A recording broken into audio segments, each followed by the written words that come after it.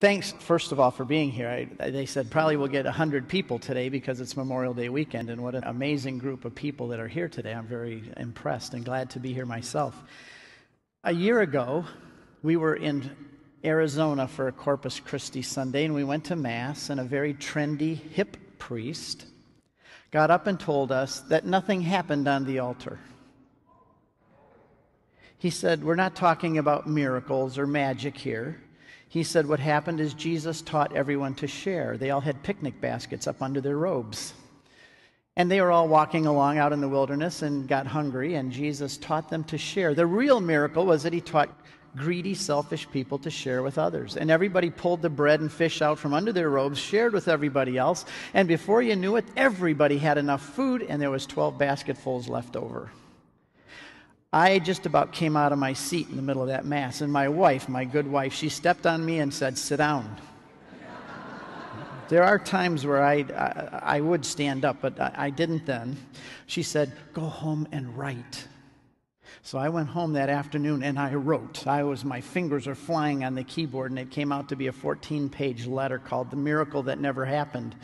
And it got published in this rock magazine and if you want to see it it's on my blog. I put it up again this time there was a miracle that took place in the wilderness, and there's a miracle that takes place here. And any priest that says it isn't should be ashamed of himself. So that's why I wrote that article. And if you won't hear that in this parish, I'll guarantee it. Because I know these guys. That's why I'm here today, by the way.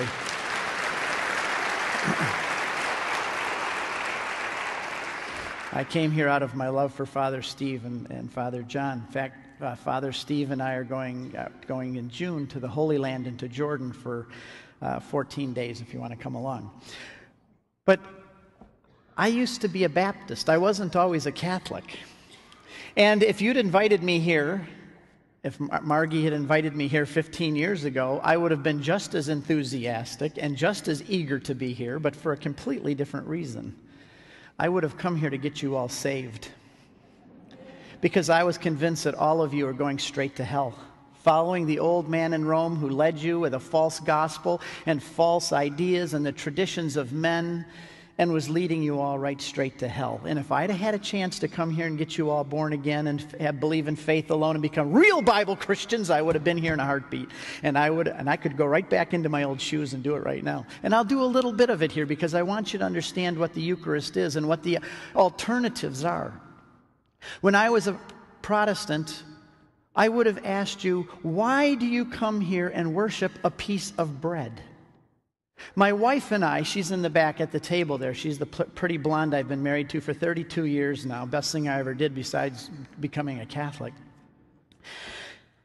We we would challenge Catholics and say to them, Why do you worship a piece of bread? Don't you understand that you're intelligent people? Some of you are even college educated, and yet you worship a piece of bread that's not intelligent. We had never been in a Catholic church, my wife and I. January 1st of 1994, we intellectually decided to become Catholics. At that point, we had never been inside of a Catholic church in our whole life out of principle. My wife is the first Catholic in her family in over 400 years. Both of our families rejected us when we became Catholics. We had never met a Catholic priest personally in our life, and we had never met a Catholic who could explain or defend the faith. Every time we met a Catholic and asked them, Are you saved and going to heaven? they would say, Well, we hope so. We haven't killed anyone. We're trying to be good. And I'd go, Gotcha. You don't have a clue. I was convinced Catholics didn't have a clue, and most don't. And so when we became, uh, when we started to look at this whole idea of being Catholic, it was, it was totally bizarre to us and absurd to us at first. We would have said to you about this Eucharist, we called it a cookie Christ. We called it a graven bread. I even have a book at home still. I have the best anti Catholic library of anybody, by the way, on my shelves. I have 20,000 books in my house, and a whole bunch of them are anti Catholic books because it's good to study those and keep up on what the opposition teaches. And I would have said that this was a cookie Christ, a graven bread. There's a book on my shelf called Graven Bread. Why? Because we are told never to make a graven image. And what do Catholics do? They take a piece of bread and they make it a graven image, graven bread, and they put it on the altar and they bow and they worship this. Now, if I had come here before, I would say to you, not only is it, for many educated people, not only is it stupid, but it is also idolatrous. You are to worship God alone. Why do you worship a piece of bread? But there was a, there's a really only a few alternatives. I'd go on like a Baptist preacher if I could, but I got to cover the good stuff here. There's really only a few alternatives of what this what really takes place and happens on this altar. What we experienced here for those who were here for mass an hour ago. And it's like a sliding scale. At one end we say that it is the body and blood of Christ. On the other end of the sliding scale, the other alternative we have is to say that it is a piece of bread. There's not a lot of wiggle room in between. It's one or the other. Now, the Lutherans come along and say, well, it's consubstantiation, which means the presence of Jesus is with the bread. We, of course, say transubstantiation wasn't defined until after the 1200s. Doesn't mean it was invented in the 1200s, it was simply defined in the 1200s and given a scientific explanation.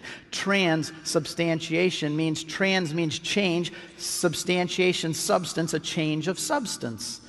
Luther said no, it's a consubstantiation. Con means with. Christ becomes part of or with the substance. But in the big scale of the picture, you only have two really alternatives. It either is a piece of bread, which, if that's the case, us Catholics are idolatrous and we are stupid and we are foolish. If it is only a piece of bread. Let's face it, if that's a piece of bread on the altar, then we're foolish to come here and worship it and eat it and think we're eating Jesus. But on the other hand, the other alternative is that it is Jesus that it is his real presence. It is his body, blood, soul, and divinity. Now, if it is only a piece of bread, we've already talked about the implications of that for Catholics. We're foolish and idolatrous. But on the other hand, if it is Jesus, then what about my old position? Then I am mocking and making fun of and ridiculing one of the greatest, if not the greatest gift of God that He's given to us in His church in the world Himself to eat, and we are what we eat. So you have these two drastic contradictions, and everyone in the world has to make a decision on which one it is, whether they like it or not. And if they're apathetic and just make a, a, decision not to believe it by default, guess what? They've still made a decision that they believe that it is not the body and blood of Christ. And we, by faith, and for good and substantial reasons. It's not just because we have faith. Believe me, this does not become bread and wine because we believe it does. We believe it becomes bread and wine because it does. Our belief and faith doesn't make something come into existence. We believe it because it already is in existence. What happens on that altar is objective reality. It happens whether we believe it or not. What we believe it, and there are good and substantial reasons why we believe it. So I want to get into a little bit about the Protestant Reformation and what happened there. For the first 1500 years, everybody believed that what happened on this altar was real and substantial, and the bread and the wine became the body and blood of Christ in my book, Crossing the Tiber. The last one third of that book deals with the Eucharist from the Old Testament and the New Testament and the first five centuries of the church. And I show that there was a continuity all the way through. There was no broken line of continuity. It was the body and blood of Jesus, even to the point where Tertullian said in the third century that if a piece falls on the ground, everybody is in, in distress. What do we do? It's, it fell on the ground. You don't get worried about a piece of bread falling on the ground. It happens at our house all the time. We have three grandkids living there with us. Not just bread gets thrown on the ground, everything does. It's no big deal. But why did Tertullian, why did the early Christians, why were they so upset if a piece of the Eucharist fell to the ground? Because from the very beginning, the very first Christians believed that this was the body and blood of Christ. It's no longer bread. And in my book, I have a little chapter called A Short History of the Resistance. It's short because there was none. Everybody believed in that. It didn't come about until what some what we call the Reformation, but what I refer to as the rebellion. And I was part of the rebellion. That's why I got the right to call it that if I want to. But in, 19, in, in 1529, Martin Luther and the reformers went up to Marburg, Germany. And in 1982 and in 1985, my wife and I sold everything and went and spent a year driving around Europe studying our Protestant Reformation, our history.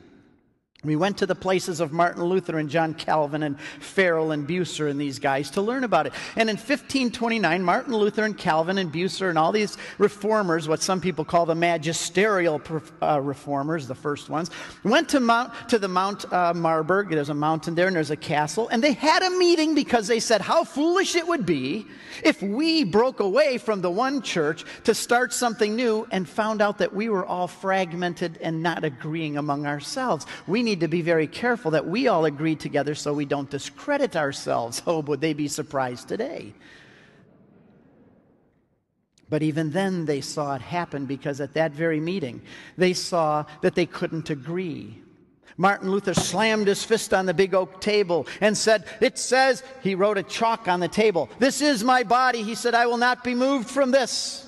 He doesn't believe it anymore like the Catholics do, but he still believes that something happens there on the altar. But Zwingli said it's all symbolic. It's all a deception of the Catholics. It's all symbolic. Jesus is talking about faith, not about anything that really happens here. And they argued and fought. And by the end of that meeting there in Marburg, they went away, many of them, refusing to shake hands with the other, saying, You are no longer a brother of mine. This is only 10 years after Martin Luther nailed the 95 Theses on the Wittenberg door. Ten years later.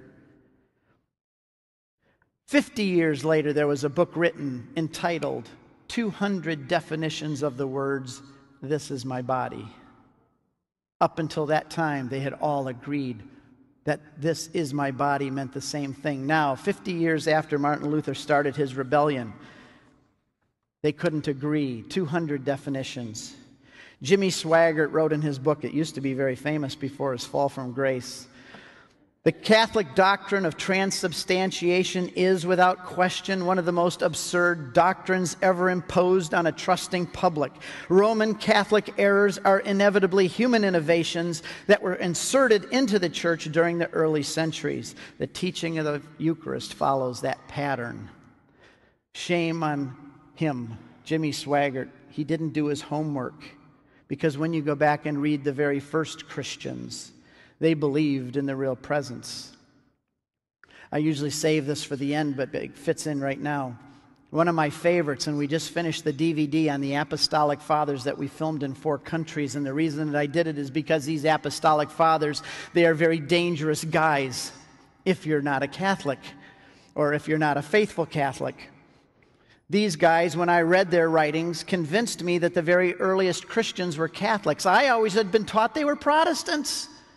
The Catholic Church only came about in the Middle Ages after it got corrupted with all these human man made ideas.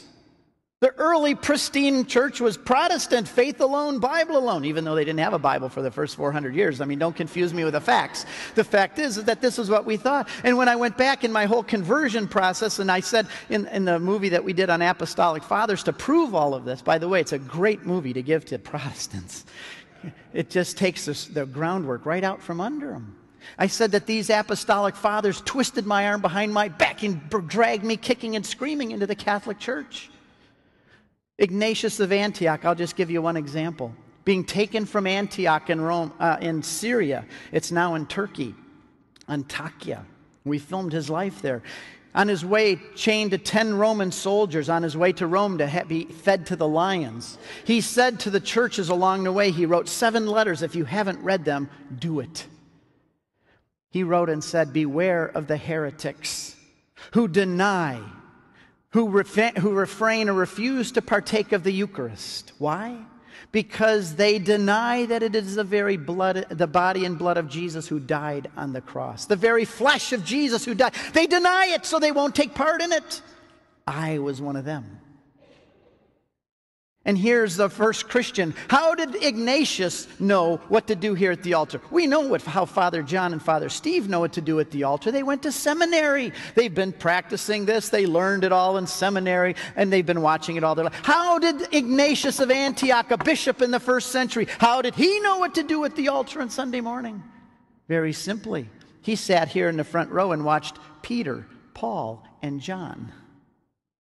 He watched Jesus' disciples, what they did here, and then he spread the, that news even during their lifetime. And in 107, before he died, wrote, Beware of the heretics because they do not accept that the Eucharist is the very same flesh of Jesus who died on the cross and was risen again. And it didn't sound very Baptist to me. And in my book, Crossing the Tiber, I've got all these quotes from the fathers for the first five centuries. So, what I want to do today, then, knowing that that happened and knowing what I believed as a Baptist, I want to go back and give you a little idea, defense of the Eucharist, and how I struggled to come to the place where I am today. And I want to first start out with the Old Testament, and then the New Testament, and then our experiences. So it'll be kind of the three categories I'm going to do. First of all, I want to talk about how the Old Testament prepared us for the Eucharist. Having Corpus Christi this Sunday, it really applies, the body of Christ. How does the Old Testament prepare us? First of all, we have to forget that we're Americans for a little bit and think of ourselves as being Jewish. Why? Because that is what our foundation and our roots are Jewish. We're Americans. We speak English. We're 2,000 years removed. We have the New Testament, which is only about this thick. But what we have to realize is the New Testament was built upon the Old Testament, which is about this thick, much thicker than the New Testament. We're the church. We are the leaves, the branches, the fruits, the flowers. But what is the trunk and the root? It's Israel. It was the people of God in the land of Israel with him working with them. Abraham, Isaac, and Jacob. Right now, I'm working frantically to finish a study guide of 400 pages on the book of Genesis. And it is the history of us. It's us. We're, Abraham is our father of faith. And guess what? He wasn't an American. He didn't speak English. He wasn't a Catholic. He wasn't even a Jew at the time. He was a Hebrew, he was called. He was the father of the nation of Israel. And so we have to think of ourselves, and when we think about the Eucharist, and we think about the church, when we think about our salvation, all of it, to understand it completely, we have to take off our American Baptist glasses and we got to think like Jews. I always say that I used to wear Baptist glasses. Everything I saw looked Baptist. If, I, if you wear red glasses, what does the world look like? Red. If you have blue glasses, sunglasses, what does the world look like? Blue. If you wear Baptist glasses, what does the world look like? Baptist. And so does the Bible. Now I've got very special ones. This is a Jewish lens and a Catholic lens. because that's how we have to understand the world and reality and the Bible and everything around us. It's not just religion. Catholicism is not just in these four walls. It is the cosmos, it is reality. Christianity is the only explanation of reality. And so we have to think in this terms of Jewishness. So I want to go back and look at the Old Testament a little bit, the Jewish background. Adam and Eve, let's start there. It's a good place to start. They sin against God, and what has to happen? God has to kill an animal to cover them. Adam and Eve covered themselves with fig leaves, right? Well, I did a little research on fig trees and found out that the sap in fig trees and the branches, the leaves, everything else has a chemical in it which causes dermatitis. It causes the skin to itch and get a rash. Adam and Eve tried to cover their own sins. They went and got fig leaves, put them on, and they're walking around scratching. You can't cover your own sins. It never works. It's going to make the problem worse. If you want your sins covered, you have to have the death of an animal. Without the shedding of blood, there's no forgiveness of sins. And God had to kill an innocent animal to make skins to cover Adam and Eve. And it's already a picture of the sacrifice of what's going to happen for us in Jesus Christ and the Lamb of God. And next, go to Melchizedek. When I take our groups to Israel, I stand up on the promenade in Jerusalem and I, got, I can point out everything because Jerusalem's like the palm of our hand down there in the valley and I can point out everywhere. And right there, in that, right there where those two valleys meet, is where Abraham met Melchizedek when he was coming back from war. And there, Abraham, representing the people of God, offers Melchizedek 10% of the spoils, a tithe. And Melchizedek, being the king of Salem, guess where that name comes from? Jerusalem he is there as the Prince of Peace, representing who? He's a prefigurement of Jesus Christ. And what does he give to Abraham? He gives him bread and wine in Jerusalem. Jerusalem is very Eucharistic. Then we go to the Passover lamb in Egypt. Moses and the children of Israel are in slavery and they need to escape. How do they escape? By the death of an animal. A lamb has to be slain. And you know, we think of the temple in Jerusalem and uh, these sacrifices as kind of clean and sanitary, but there was one time in Jerusalem where they killed over 250,000 Passover lambs at one Passover. Can you imagine killing 250? That's a quarter of a million lambs. They cut their throats, they hang them by the back legs over the altar until all the blood drips out onto the altar. And at this time, there were so many lambs killed, they had to have a bucket brigade. They had to kill them out into the courtyards, put their blood in buckets, and pass it up to the altar to dump on the altar. It was like a slaughterhouse in Jerusalem. You ever smelled blood? I went to a, when I did our Moses movie, I went to a slaughterhouse to get real blood, and it was nasty.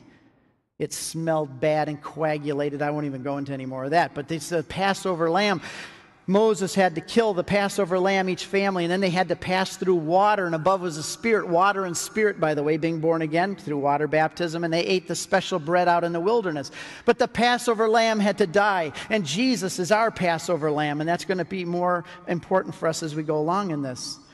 And then another image of the Eucharist in the Old Testament is the manna. Out in the wilderness of Sinai, the manna fell from the sky. They were hungry, and I don't blame them. You know, say that we read this Old Testament passages about how they grumbled and complained. I'd have been the first one in the line to grumble and complain against Moses. Have you ever been through Sinai and through those areas of Jordan? It is miserable. Sandstorms blow, and they, we see snow in three foot drifts here. They said sand in three foot drifts there. And they're going for days without water, days without food. And then all of a sudden, God gives them a great miracle. The manna comes down from the heaven, and they walk out and they look at it, and they have no idea what happened, what it was. Do you know what the word manna means? When they walked out of their tents in the morning and looked out and saw these flakes on the ground, they said, What is it? And in Hebrew, manna means, What is it? Manna means, What is it? So that's the Hebrew word. So really, they walked out and they saw that, What is it? on the ground. That applies in a little bit later when the Jews walked away from Jesus when he explained that you must eat me, the, flat, the meat that's the bread that's come down from heaven, and they walk away because they said, What is it? What are you talking about? And they walked away. But that's the manna. The manna is the bread of life come down from heaven. Jesus said in John chapter 6 if you eat the, the, your Moses and the fathers, they ate the bread which came down and they still died. But you, if you eat the bread of life, me, you will never die. And then in Micah, that brings us right to Micah since we're talking about bread. In Micah chapter 5, verse 2, is the prophecy that Bethlehem is going to be the place. O you Bethlehem, O Ephratah, who are little among the clans of Judah, from you shall come forth the one to be the ruler of Israel. What does Bethlehem mean? I have a picture of me hitchhiking to Bethlehem under a sign that says Bethlehem, two words. Bethlehem, house of bread. Mary, what's in her womb on the donkey as she's going from Nazareth, that eight or 10 day journey through the 120 degree temperatures or whatever it was through the Jordan Valley to Bethlehem? What's in her womb when she's riding that donkey with flies buzzing around her head? The bread of life. Mary is going to the house of bread to deliver the bread. And where does she put the bread when she gets there? And you go, when we take our pilgrims into the lower level of the Church of Nativity in Bethlehem, there are two little shrines there. One is the place where you reach down and touch the ground where Mary gave birth to Jesus. And then you take a few steps down here, and there's another one where you stop and touch our rosaries and pray. And this is the place where she put Jesus in the manger in the cave, and it's still a cave today with a church built over it. Why did Mary put Jesus in the manger? What is a manger? A manger is a food dish for sheep. We're the sheep of God. From the very beginning, Mary is telling us that He is going to become our food. She puts Him in a dish where the sheep come to eat. From the very beginning, we learn that he's going to be our food placed in the dish for the sheep, and this is in Bethlehem, the house of bread. We're already being told, even in that verse, the best way to study the Bible. People say to me, Steve, how do you study the Bible? I say, ask as many dumb questions as you can, and then find answers. Why Bethlehem? Why? Because it's the house of bread. And this is where the bread is going to be born. This is how the fathers thought about the scriptures. This is how the Jews worked with the passages. It's so exciting to study the Bible. There's nothing else quite like it. But anyway, we're going to move on. One more I'm going to tell you about in Malachi 1:11 where Malachi prophesied and he said from the setting of the sun, from the rising of the sun to its setting, my name will be great among the nations, and in every place incense offered to my name, a pure offering will be made among the nations. Another translation says, from east to west. The Jews have a problem with a passage like this because the sacrifices were given to them and they were to be performed in the temple in Jerusalem, which God had called the place for the sacrifices is in Jerusalem. And here it says that there is going to be a pure sacrifice, a pure offering offered among the nations. The Gentile goyim dogs how can they offer a pure sacrifice? They're filthy dogs. They're not a part of the covenant of God. They're uncircumcised. Even today, there's still this attitude with, with the, some of the very religious, religious Jews. When we were filming the Paul DVD, I was at the Western Wall. And I was there with my camera, and I was talking as we walked along the Western Wall with all the Jews praying. And I said, Paul loved the temple. Jesus loved the temple. And as soon as the word Jesus came out of my mouth, two Hasidic Jews just started to tremble and shake and came rushing up to me and said, You cannot say that name here. And I said, Yes, I can. I have a permit. but they said, No, you can film here, but you cannot say that name. And there was a big argument ensued over whether I could use the name Jesus or not. And one stood in front of me, right in my face, and the other one stood right in front of my camera, saying that I couldn't film. He was going to stand right there until I promised not to say that name again. Very incarnational, by the way, when to think about that. If I'd have been back in the first century, I'd have been taken out and stoned for the name. The only way I could get, by the way, the rabbis came, the police came, it was a big argument. The only way I could finally get him to get away from my camera was I said to him, okay, I am a Gentile, you are a Jew. If you don't get away from my camera, I'm going to touch you. I'm a goyim dog, I'm unclean.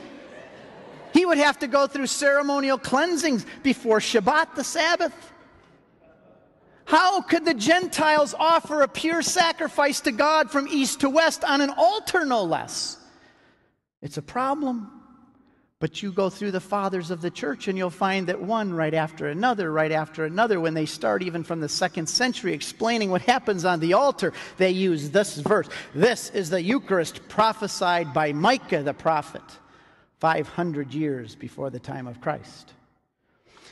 I want to go to the New Testament. We could do a whole hour just on the New Testament, but I'm just going to touch on two points. Jesus says, This is my body in the upper room in Jerusalem on Mount Zion. Three sacraments were instituted in this room the priesthood, the Eucharist, and confession. It's also where the Holy Spirit came down on the day of Pentecost. If you don't get goosebumps when you walk into that room, I still do after 55 times. But here, Jesus, when he is celebrating the Passover meal with the bread and the wine, the matzah bread and the wine and everything he says, he holds up a piece of that bread and he says, This is my body. Now, when I looked at that with my Baptist glasses, there was an extra word added in there. It says, This represents my body. When I took it off and read it, it said, This is my body. This represents my body. Hmm. I was looking through a lens of tradition. I didn't go to the Bible alone and let it speak for itself. Bible says what it means and it means what it says. Except here. I was looking through my Baptist tradition and letting my Baptist tradition interpret the scriptures for me. It doesn't say this represents my body. Jesus said, This is my body. And St. Augustine, early church, says when Jesus spoke those words, he held his own flesh in his own hands. I like to ask people like me back 15 years ago Steve, back in your old life, wouldn't you have thought it would be smart to maybe go up and talk to Jesus at that point and say, Jesus, you know, we really ought to reword that, what you just said. You know, there's going to be a billion Catholics someday that think you really meant what you just said. Maybe we should reword that, Lord. How arrogant is that? Jesus said what he said. This is my body. And his followers from that moment on through 1500 years believed that he meant what he said and he said what he meant. So why didn't I? Then I go to another passage in John chapter 6, the famous passage about the bread of life which comes down from heaven. If you eat this bread, you will never die. And this is eat my flesh and drink my blood. If you don't eat my flesh and drink my blood, there is no life in you. If you want to rise from the dead, you eat my flesh and drink my blood. And St. Ignatius, by the way, in the first century, guess what he writes? He says that the Eucharist, this on the altar, the Eucharist, which is the body and blood of Christ, it is the medicine of immortality. It is the way to eternal life. Jesus said, Unless you eat my flesh and drink my blood, there's no life in you. Well, as a Protestant, I'd say, of course, well, I didn't eat it, and I still sense the life of God in me. I'm full of the Holy Spirit. Well, first of all, we have to realize that the Catechism teaches, just like baptism for some who aren't baptized and yet they still experience the graces of God, that God made baptism and the Eucharist, all of these, necessary for salvation. However, there's a line at the bottom, and I forget which paragraph it is in the Catechism. I think it's 847, somewhere in that range, where he says, But God himself is not bound to the sacraments. In other words, God can work outside of the sacraments when He wants to, though He made the sacraments the vehicle of salvation. For example, how did you all get here today? You drove in a car. How many of you walked here? How many of you rode bikes here or came here in an airplane? Almost all of you walked here, right? There are other ways to get here. But the normal means of coming to the church on Saturday morning are by driving in a car. The normal means of salvation is through baptism and the Eucharist. But God is not bound to his own sacraments, and he can work outside of them if and when he chooses. So, John chapter 6 says that unless you eat my flesh and drink my blood. And I want to just talk about that passage a little bit. Now, in the three gospels prior to John, Matthew, Mark, and Luke, they're called synoptic gospels, meaning sin with and optic seeing, seeing together with. They're very similar. John is very different. And in the first three gospels, you have the institution of the Eucharist right before the crucifixion, where Jesus institutes the Eucharist, said, This is my body, this is my blood, the cup, drink, you know, do this in memory of me.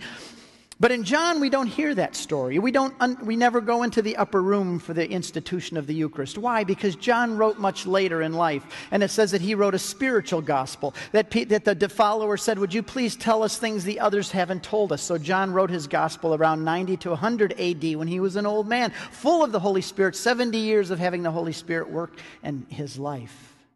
And he writes and he says, I'm going to tell you not about the institution of the Eucharist, but I'm going to give you the theology underlying it. And so in John chapter 6, it starts out just like the others does. It's the time of Passover. John wants you to know I'm talking about the same thing, so I'm going to bookend it, open and close it the same way as the others do. So it's the time of the Passover, and at the end, he concludes it with he refers to Judas, who the devil was going to come in into and walk away. All of four of them end, start and end the same way, so John's letting you know. He also, by the way, uses in this John chapter 6 several times a word that's not usually used for thanksgiving, but the word Eucharistia is woven into that passage in John chapter 6 and read by the first century Christians who received it. They knew that John was referring to the Eucharist, even by the fact that he used the word Eucharist in there three times. Eucharistia, two or three times. Jesus is saying, I'm the bread come down from heaven. Unless you eat of me, you can't live. And the Jews argue with them. I had one Protestant, when I became Catholic, argue with me. He said, Steve, I know that that cannot be the body and blood of Christ. And I said, How do you know that? And he says, Because he said, if it's really Jesus' body, you Catholics have certainly eaten it all up by now. If you've been there for 2,000 years, millions and billions of you, how long do you think it took to eat up every ounce of his body? It's gone by now. And I said, Oh, you should read your Bible.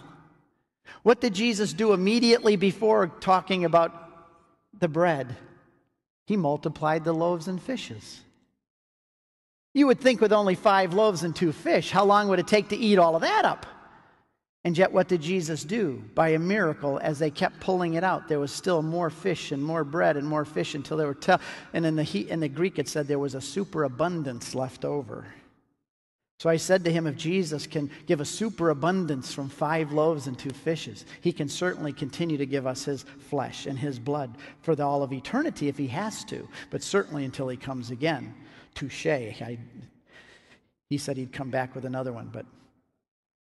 So when, when Jesus argued this way, what did the Jews do? They argued with him and said that most of his disciples left. They were arguing. But then Jesus, because they were arguing, he ups the ante he speaks tougher. He gets determined.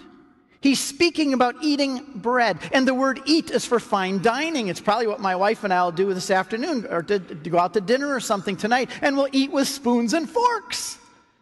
It's called eating. It's a polite dining, and you're eating bread or regular food. But once they argue, Jesus says, Okay, guys, if you want to know, I'm going to tell it to you right straight.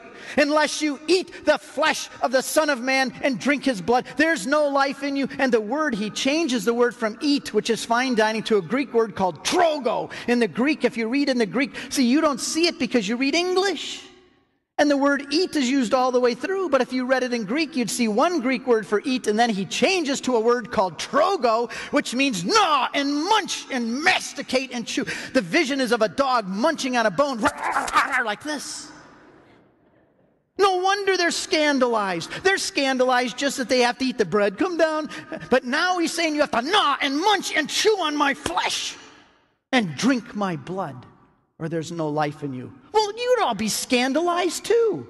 How many of you would have stayed around to hear any more of this nonsense? Jews said, That's nonsense. This is a hard saying. As Jews, we can't even touch a dead body. Do you know that you can't touch a dead body or you have to go through a period of days of cleansing? Even if you accidentally touch a dead body and drink blood, are you kidding? There's a, and even today, the kosher laws require that you are not allowed to eat meat with the blood still in it. Jews can't just go to Kroger's and buy meat there because it's not kosher. We kill animals differently than the Jews. The Jews have to still slice the throat and make sure all the blood is out before they can cook it.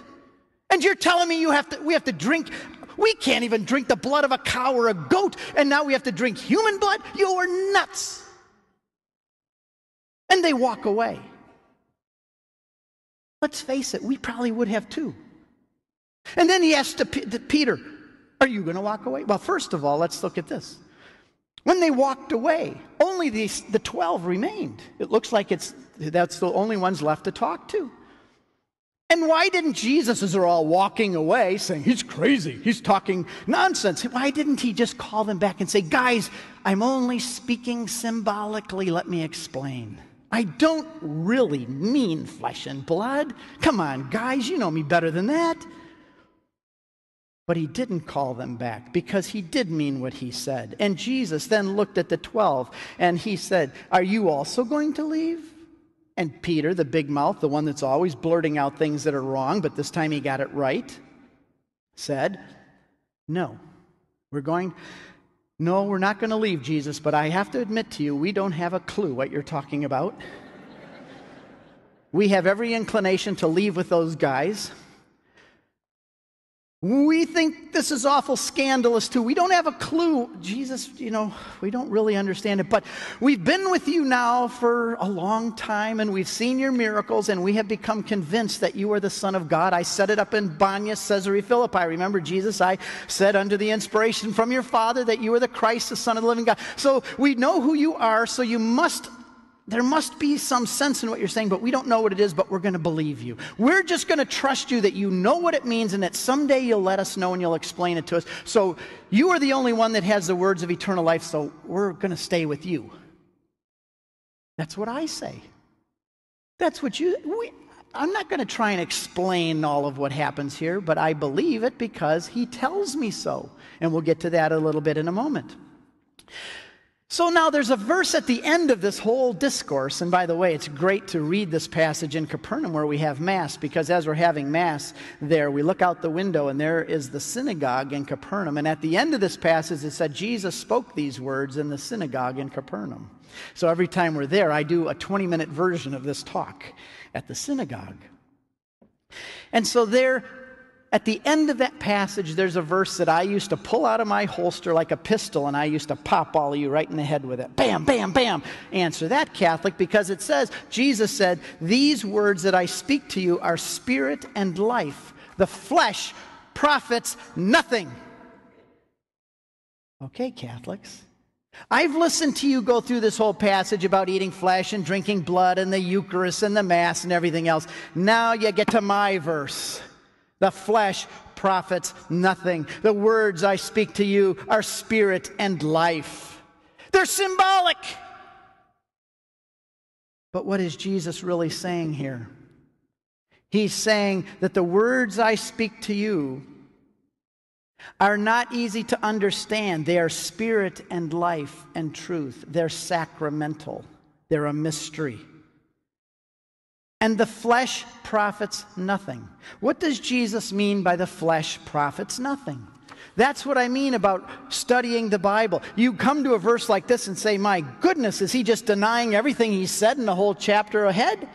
No, he's not. You look at the verse and you ask questions. What does Jesus mean, the flesh? Does he mean his flesh? His flesh profits nothing? If you take that position, you have proved too much because you're saying that the incarnation, that Jesus, God Himself coming into a body, was unnecessary because the flesh of Christ, you just said here, is unnecessary. The flesh profits nothing. The incarnation simply means incarn. What's carn? A carnivore eats what? Meat. Incarn means in flesh. If you deny, if you say that the flesh of Jesus profits nothing, you've just denied the gospel. You've just denied the need for Jesus, God Himself becoming in flesh, becoming a man. You've denied the bodily resurrection at the end of time. You've proved too much. But what does Jesus mean here? The flesh profits nothing. All through John chapter 6, he says, My flesh, my flesh, my flesh. And then he changes it here in verse 63 to the flesh. This is why I love computerized Bible study. I joke around with people and said, as soon as I became Catholic, I never opened a Bible again. That's because I do it all on computer now.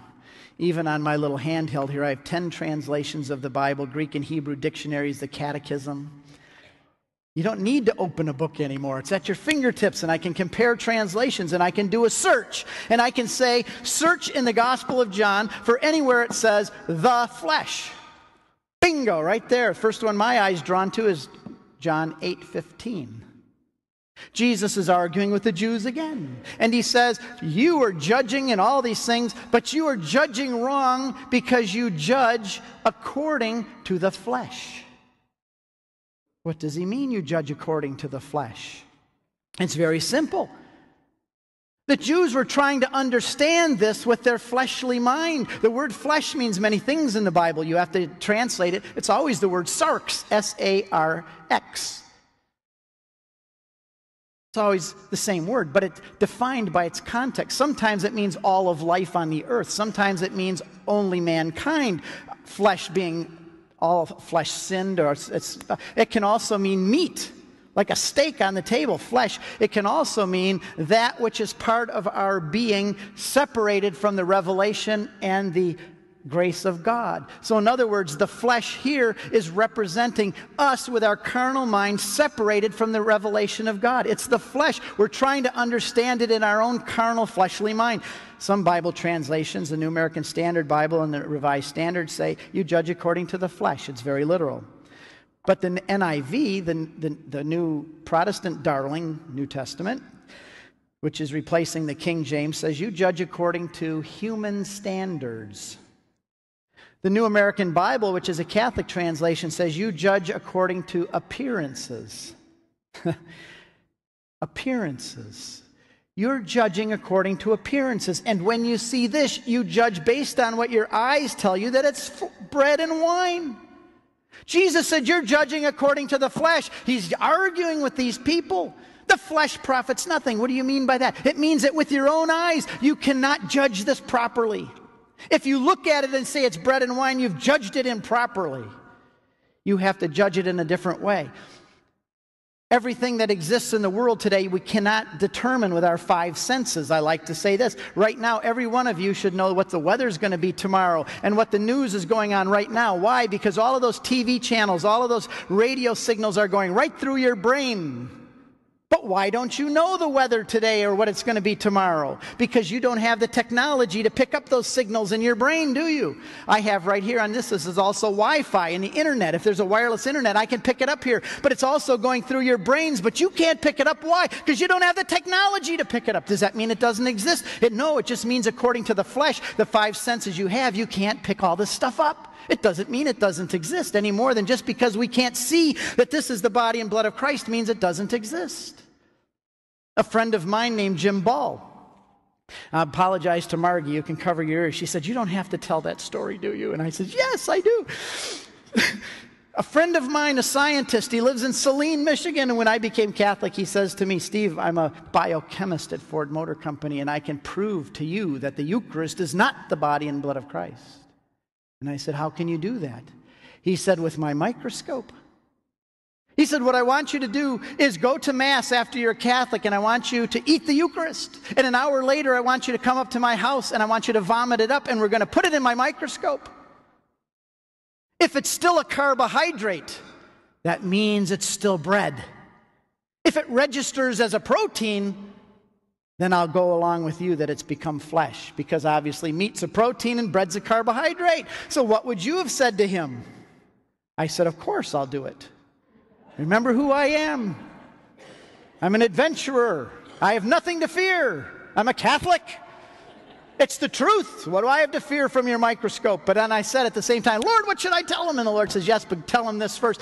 Tell him you want to first establish the basis for this experiment and what can a microscope actually determine? Got it, Lord. I knew exactly what to ask him. I said, Okay, Jim, I'll do this with you. However, what I want to do first is I want you to give me um, a scientific basis of what we'll actually be able to determine with your microscope. And I'll say, Jim, this is an example I'd like you to explain to me. If you and I were walking down the Jordan Valley towards Jerusalem, and Jesus was coming the other way, the curly haired little Jewish guy with the dirty sandals and so on, unshaven, you know, that guy that looks just like a man, who looks just like a Jewish guy. And I walk up to him and say, Are you Jesus? He says, Yes. I take my Swiss Army knife out of my pocket, and before he has the time to react, I cut the tip of his finger off.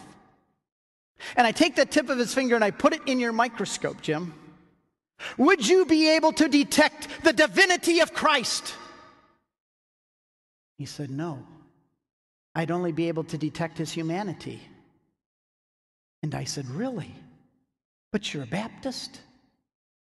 Even by your theology, you will admit that Jesus is 100% man, which you could test with your microscope, but also that he's 100% God. And if you did your test, you'd have to deny that he is God. Because the flesh, the five senses, and the microscope, let's face it, is only the extenuation, extenuating of one of the senses, sight. Because if with the five senses you can't prove that he's God, then you're going to, by this experiment, have to deny he's God. So what are we going to prove with the Eucharist, Jim? Oh, he says, touche. But I'll be back. I do not believe that this is the body and blood of Christ because it smells like flesh and reeks like blood. I believe it because God tells me so, and He has the technology to know a whole lot more than my five senses technology can tell me. Even, for example, I heard this the other day. If you take a quarter out of your pocket, I don't have one, I'm poor, but if you take a quarter out of your pocket and you feel it, doesn't it feel solid? And yet it's not. If you look at it with a microscope, what is a quarter if you get down to it small enough? It's a whole bunch of atoms. And what are atoms? Protons, neutrons, and electrons spinning around in space. It's the gravity and the centrifugal force that holds it into a solid. But if you were to look at a quarter down smaller, smaller, smaller, smaller, you would see that it's 99.9% air and space. The substance of a quarter is air. It's space, and yet when you hold it, what does it look like? A solid thing. You can't put your finger, you can't bend it, it's solid. But your eyes are lying to you about the substance of the quarter.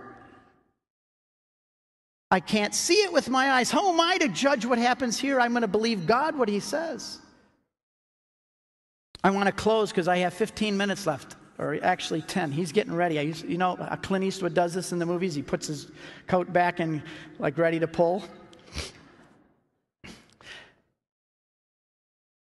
So I'm convinced it is the real body and blood of Christ because he tells me so. If I found that the early Christians through the first 1500 years doubted it and denied it and didn't practice it from the very beginning, then I'd have a problem with what we as Catholics teach today. But I see the Old Testament prepares us for it. The New Testament is the foundations of what we believe as Catholics. And the whole teaching of the church, especially in the first centuries, believed what we believe, and they never doubted it for 1,500 years.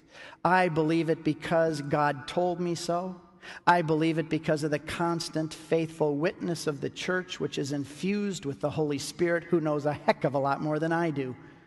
And He is far above my five puny little senses. And he tells me that there are angels, I can't see them either. That a quarter is more air and space than it is substance, even though I can't tell that. Who am I to argue with God about what happens here on the altar?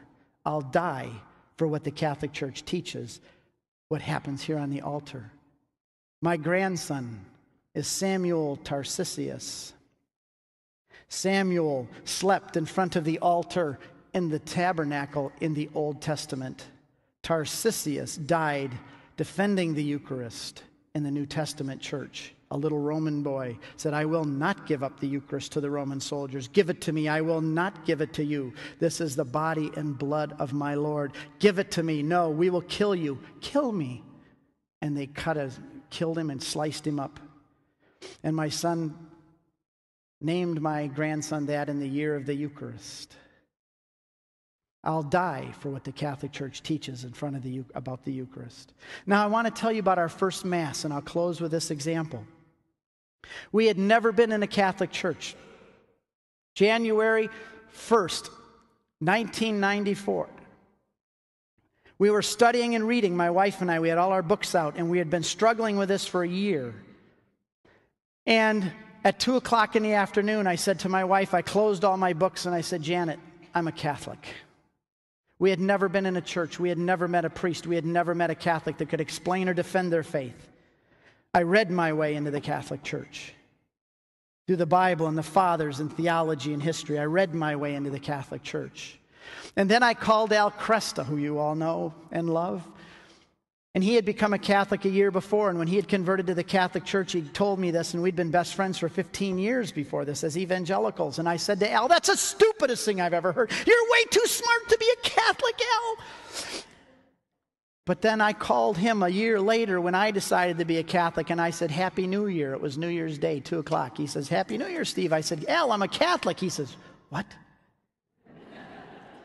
Silence, actually, on the other end of the phone. Hello, Al, are you there? Yeah, I'm here. What did you just say? I said, I'm a Catholic. He said, I know that's what I thought I heard, but I never thought I'd ever hear you say that. He invited us that day. He said to me, How would you like to go to Mass with us tomorrow? It's Sunday. I covered the phone. I never dreamed for a second that if I was going to intellectually become a Catholic, I would have to go to a Catholic Mass eventually. I never even, those two cells never connected. So I covered the phone and I said to my wife, Janet, Janet, quick, what should we do? And she says, Tell Al that we'll go, but we're going to leave our kids at home. We're going to sit in the, we're going to get there late, sit in the back, and leave early. and they said, We're real American Catholics right from the beginning. But I'll tell you what, we never get up and leave before the final blessing.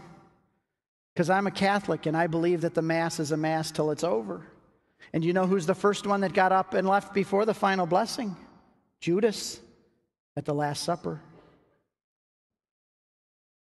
So Al took us to church that Sunday. It was actually Christ the King in Ann Arbor. It wasn't even a church, it was a warehouse. He hadn't built the church yet. And the reason I tell you this is because I saw for the first time in my life what was going on. I read about it, but I saw for the first time in my life the Eucharist. And I explain this whole first Mass in my book, Crossing the Tiber. I go through the whole thing and explain what happened and the theology behind it. But after seeing Father Ed, the priest, for the first time coming down the aisle, I started to cry. And my wife started to cry because it's the first time in our life we'd ever seen an apostolic man. I've seen good Bible teachers, good preachers, good pastors, but I never saw an apostolic man in the apostolic succession. And when I turned and for the first time in my life saw a Catholic priest up close, I started to cry. And I cried through the whole Mass. And so did Janet. And I could go on and on about that first Mass, but I'll just tell you the part about the Eucharist. Five minutes. I'll tell you about the Mass. I saw this in my, heart, my mind for the, I saw it completely. I understood it. Now, I had studied about the Eucharist because I'd already intellectually decided to be a Catholic. I knew what the church taught. I'd read the fathers. I'd understood the biblical passages. And so I understood what the Eucharist was. But here, for the first time in my life, I saw it with my eyes. It's one thing to read a book about an elephant. It's another thing to walk around the corner and boom, bump right into one. You can explain an elephant a lot better after bumping into it than you can just by reading about it.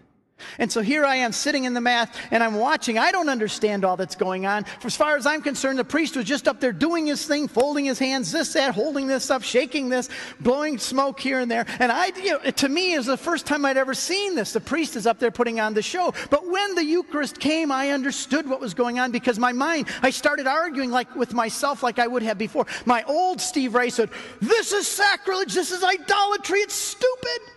And the other side of me says, No, this is the body and blood of Christ. And then the other side says, Don't you remember in the Bible it says that Jesus was crucified once and for all? He's not crucified over and over on the altar. I used to use that against Catholics all the time. Why do you sacrifice him here all the time? You say it's a sacrifice. Jesus was crucified once and for all on the cross. Says it so three times in Hebrews and once in First Peter. And the reason you come here every Sunday is because you don't read your Bibles.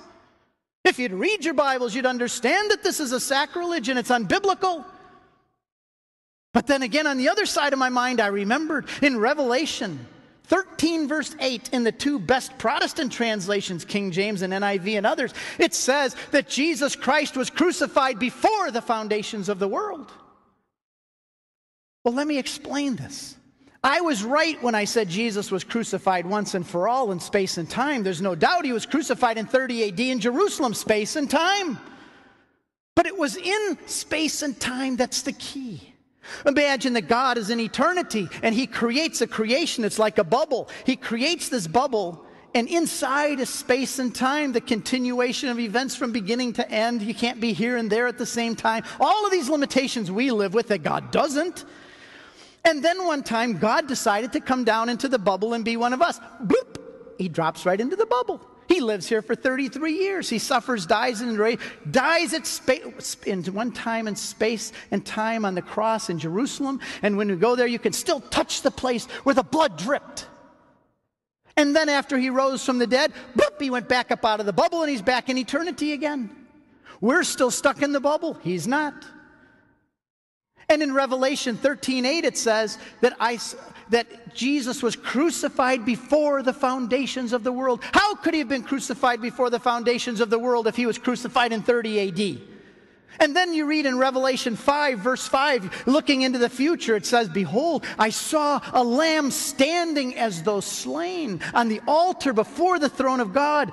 Is the lamb standing as though slain with his throat slit? There's a lamb standing on the altar with his throat slit, but he's alive. My favorite painting in the world is called The Adoration of the Lamb by Van Eyck.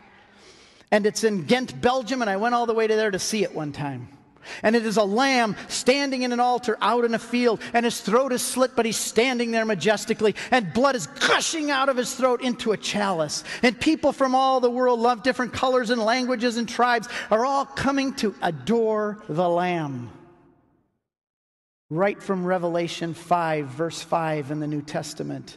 There in eternity, future, if there's such a thing, stands the Lamb of God slain. It's the crucifix I put up a blog one time about a year ago. You could still read it on my website, CatholicConvert.com. And it's called What God Sees When He Opens His Eyes in the Morning. He sees the sacrifice, the lamb. He sees the crucifix, the slain one with the wounds still in his hands and throat slit. The Lamb of God, the Passover lamb. That's what God sees when he opens his eyes every morning. And then I re- realized it wasn't just that he was crucified before the foundations of the world and that in the future he's still in the throne before God. But First John chapter 2 verse 2 says that if you sin, come to the, to, you have an advocate with the Father, Jesus Christ the righteous. He is our propitiatory sacrifice. Not that he was in the future, he is right now, present tense, our sacrifice. He's right now before the throne of God, like this, presented as an offering before the throne. I realized all of that at my first Mass. It was in space and time, but God is outside of space and time. So, in God's mind, in God's eyes, it is an eternal event. And what happens on the altar?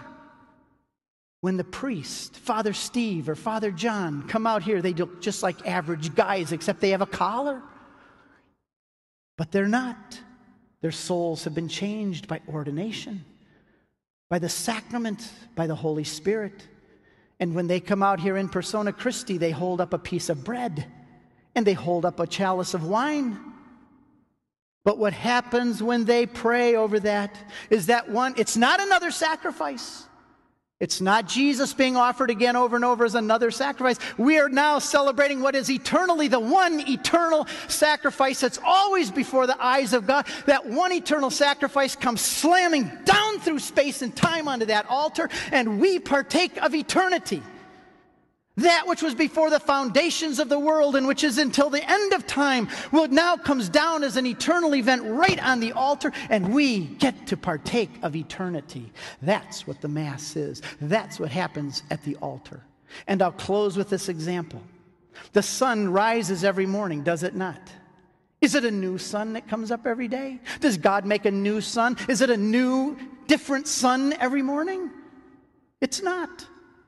If you go out, say, into eternity, so to speak, like on the space shuttle, and you go out, you will see the sun is always there, always bright, always shining, never goes away. But for us, in space and time, it comes new every day. But it's not a new sun, it's the same eternal sun that continues to be presented to us new every morning.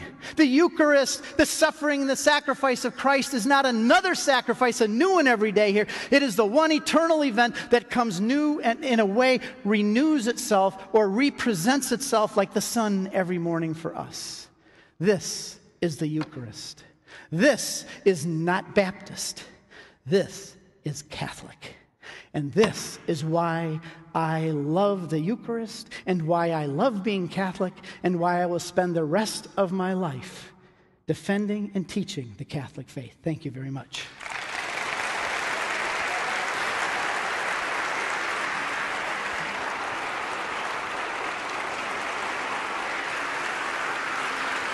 Thank you.